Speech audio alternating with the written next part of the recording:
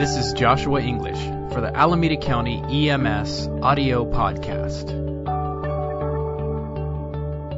If you frame restraint as a treatment, it has an indication, it has contraindications, it has side effects, and it has dosages for all intents and purposes. Mm-hmm. And that could be some verbal judo all the way up to four point leather restraints with a spit.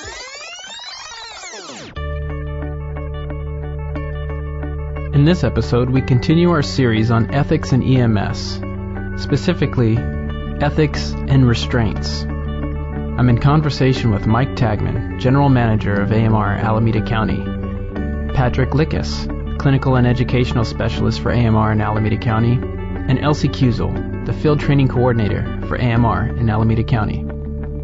Here's Mike Tagman. You know, one of the, the first questions that always comes up is, you know, why why do we ever need to restrain a patient? Kind of what's the purpose? And I think that, that it's it's really important to keep in mind, and sometimes in the in the heat of a tense situation, it's easy to forget. The the reason we restrain is for protection, and it's for protection of the patient, uh, to protect them from harm. It's for protection of the people that are caring uh, for the patient, and for uh, any bystanders or folks that might be involved. The, the whole um, point of doing it is to make sure people uh, stay safe and don't get hurt. That's the only reason to do it. Um, restraint is not for uh, punishment. Um, it is not for uh, really any other reason than uh, than uh, taking care of folks. So it makes sense to continually evaluate our concept of when and why we restrain patients. Pat Lickus.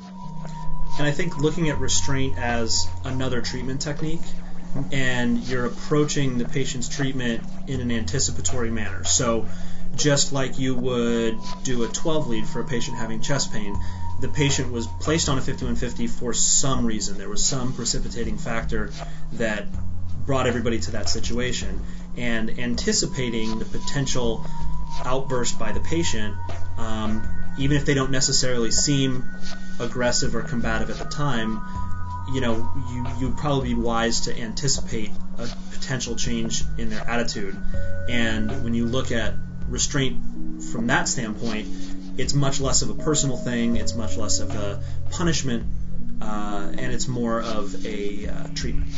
If you anticipate a patient trying to ruffle your feathers and get into your skin, Elsie Kuzel most likely they won't be successful if you're already prepared for it. And there is something about having that confidence, you know, your affect will be, I'm prepared.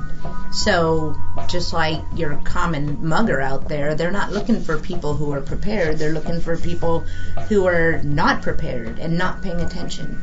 And that's when they know it's going to be easy money. So, kind of along those lines, you're going to have somebody who is looking with looking for somebody with a chink in the armor, and they'll go straight to it.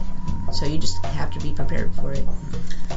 And the the manifestation of being in charge in in situations that are potentially violent, um, in my experience, is the person who has got the most even tone of voice, who is calmest, and everybody else is out of control. You say, "Look, this is the way things are going to happen, and they're going to happen this way now. And it's about showing strong confidence. And uh, when everybody else is yelling, if you're the one who whispers, people have to kind of stop to listen. And if you hold your um, body and your facial expression, your hands and your posture in a way that has command presence, um, it has influence on those kinds of things. And oftentimes people will uh, comply um, with the, the process of restraint um, more readily if they're being restrained by somebody who's like, "Hey, look, I got this," and um, and and sends the message of, "If you're going to fight, you're going to lose." And there's a lot of us here, and we're going to be kind and nice to you, but we're not we're not going to get beat up. So there's a clear line between being in control of the situation and being rude or abusive. And that's important. And like Mike's saying, getting emotionally hijacked, it's restraint shouldn't be something that you're doing. It's not a personal thing for the patient. Uh, just as it's not appropriate, though difficult sometimes, to not take what the patient's doing or saying personally if they do become, if they do have an outburst or, or try to attack. Uh, you know, some of them it may it may be a personal thing on their part, but you have to be able to take a step back and really calm yourself and not be the person who escalates that situation. But what about those situations where the patient seems calm? Everything seems calm. But there they are, in the back of the police car, with handcuffs on. They don't seem dangerous. If somebody says he doesn't seem dangerous, there, that's just one little portion of the hmm. whole call. And it's dangerous for anybody, and you wouldn't be a good practitioner of any kind of healthcare if that's all you look at is one little portion of a whole call. It doesn't matter if it's somebody with a violent outburst or somebody having a heart attack or a stroke or whatever, right? So you got to look at the whole thing. Is there a history of this person acting out? Another big thing is uh, to be able to assess the behavior of your patient. Is that patient anxious or are they at a point where they're defensive now and they're just on the edge of not having all their rationale with them?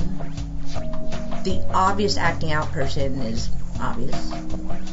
And sometimes you're on the other side of that, where you're in that therapeutic calming down period.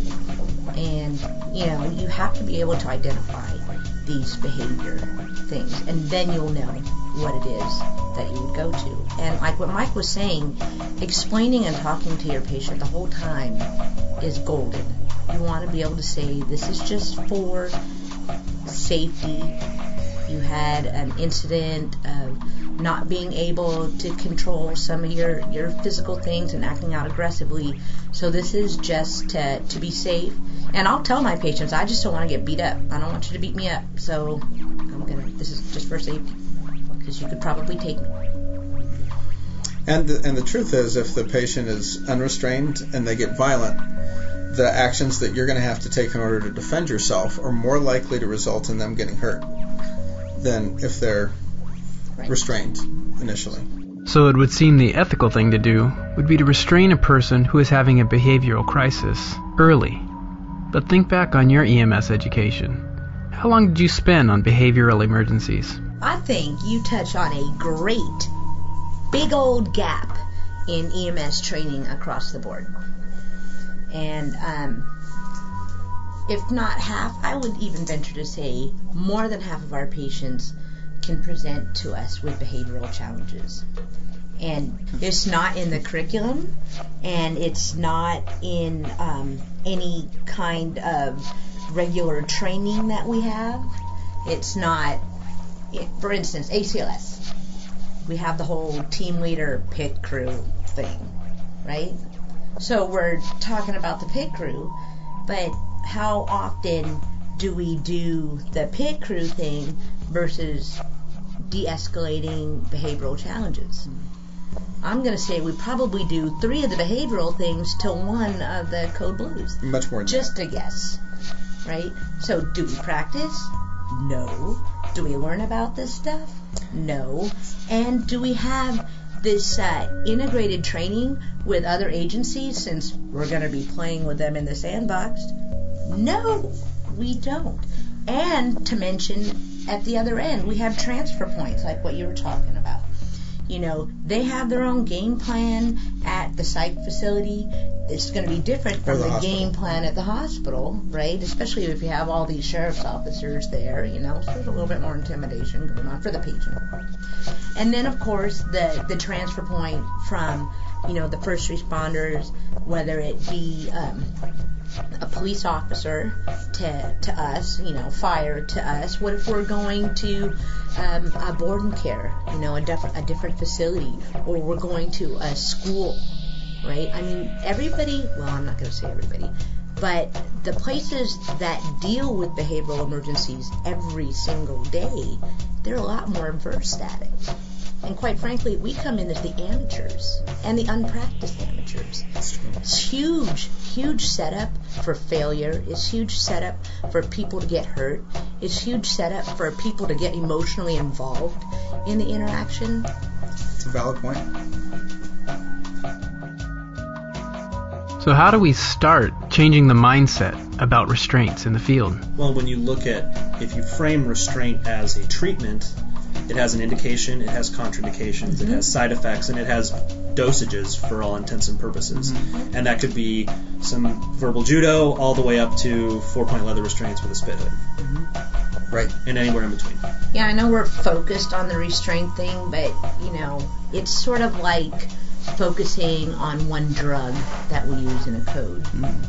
Right? So there should be a bigger idea of what restraint is. You can verbally restrain somebody and you know just having control of the situation like what you were saying and a lot of it has to do with the confidence and your tone of voice and that trust that's built between you and the patient right but um you know but just like a med that we're going to push if we're going to talk about epi for instance you know it seems for the most part benign and i think a lot of people think that about restraints it's pretty benign but i mean they have to they meaning any practitioner has to know what the adverse effects are Well, and the dangers of you know mobilizing people face down. The positional Right. asphyxia is pretty well documented.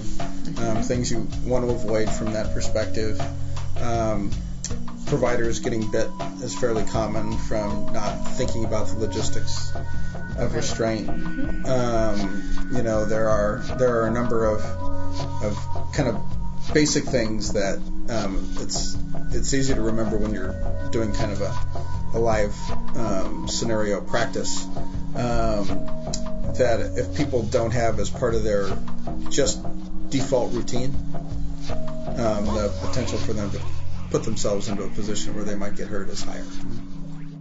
I believe that you know framing this as a, clinical issue and clinical treatment makes sense, and we're constantly looking at ways we can take better care of patients whose hearts have stopped, whose um, coronary arteries have gotten plugged up, whose uh, neurologic arteries have gotten plugged up, who have been shot in the belly. Um, you know, there's a there's a, a plethora of attention um, that is focused on you know identifying people who've got infections early so that they can have better outcomes.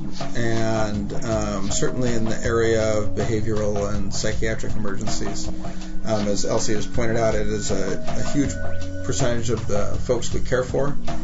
And um, it's also a component of many of the other things that we care for. So people who are um, substance um, under the influence of substances, people who are waking up from seizures, people who are hypoxic, people who are hypoglycemic, people who have brain tumors, um, people who have fungal infections as a complication of AIDS. I mean, there are a whole lot of um, other clinical reasons behind, besides just the purely psychiatric genesis of uh, of behavioral problems that you know restraint may be part of the uh, selection of treatments for.